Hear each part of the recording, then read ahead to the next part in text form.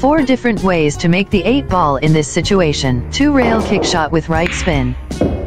Curve shot with right spin. Small jump shot off the rail. 1 rail kick shot. Which option would you pick?